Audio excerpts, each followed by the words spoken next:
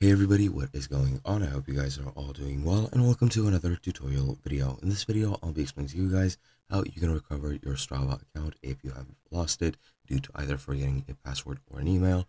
So let's get right into it. So there are a few things which you can see here in this article, which is by the way on the Strava support site, as you can see in the top left, and I'll be covering them and they're all just standard methods for recovering your account. Firstly, the first and foremost method is that if you cannot access your account and don't have your password, you can easily reset it just by clicking the forget password um, option while you're logging in. And once you're there, you just follow the prompts and you'll be sent a one-time password on the internet or a link to change your password. And once you click it, you'll be taken to where you need to be. And then you can change your password into a new one.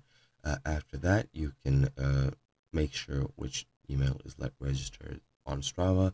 And for that, if you have access, you can go to profile and settings, or you can change the email as well. If you go into the uh, gear icon in the upper right corner uh, of the You tab and select change email.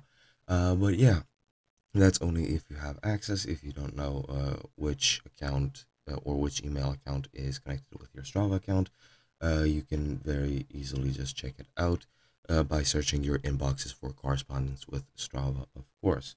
Uh, but yeah, uh, once you go to settings and select my account on the left and change email address, you will be uh, taken to the page to change your email. From the mobile app, you select the gear and select change email as I've stated previously. a password is required, so you do need it if you wish to change your email. Uh, but yeah, uh, if you want to change your password, as I said from the website, hover over your profile picture in the upper uh, right hand corner, click on settings from the drop down menu, and then select my account on the left and change password. This is, by the way, if you have access to your account. Uh, and then you enter your existing one if you remember it, and then afterwards you just enter in the new one and click change password. And that is all there is to it. I hope you guys enjoyed, and I'll be seeing you guys next time.